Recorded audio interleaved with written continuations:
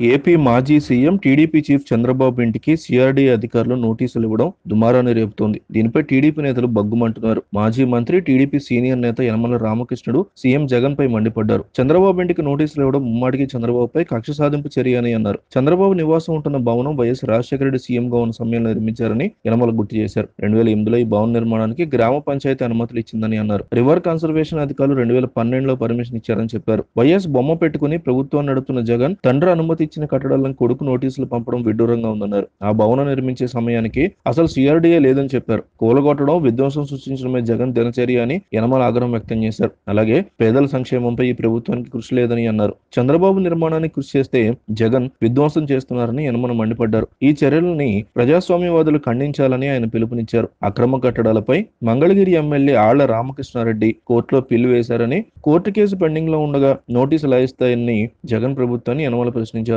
చంద్రబాబు నివాసం ఉంటున్న భవనం ఇప్పటికీ ప్రైవేట్ ఆస్తి అని సిఆర్డీఏ పరిధిలోకి రాదు అని యనమల తేల్చి చెప్పారు. చంద్రబాబు ఇంటితో పాటు మరో ఇరవై అక్రమ కట్టడాలకు కూడా నోటీసులు జారీ చేసింది సిఆర్డీఏ. వీరందరూ వారం రోజుల్లో సమాధానం ఇవ్వాల్సి ఉంటుంది. నోటీసులు జారీ చేసిన అక్రమ నిర్మాణంలో బీజేపీ మాజీ MP Gokaraj Gangaraj guest house Manthena Satyanarayana ప్రకృతి వైద్య శిబిరం కూడా ఉన్నాయి. మరికొందరు ప్రముఖుల బిల్డింగ్స్ కూడా కరకట్టపై అక్రమంగా నిర్మించిన విషయం తెలిసిందే. కరకట్టపై నదికి ఆనుకుని అక్రమంగా నిర్మించినటువంటి భవనాలను టీడీపీ ప్రభుత్వ హయాంలోనే అప్పటి మంత్రి దేవినేని ఉమా బోటు ద్వారా ప్రయాణిస్తూ ప్రపంచానికి చూపించిన విషయం తెలిసిందే. అప్పట్లో ఈ విషయం వెలుగులోకి వచ్చిన టీడీపీ ప్రభుత్వం ఎలాంటి చర్యలు తీసుకోలేదు.